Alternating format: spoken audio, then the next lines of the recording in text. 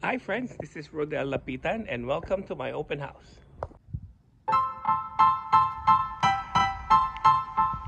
Style. Style is the answer to everything. fresh way to approach a or dangerous thing.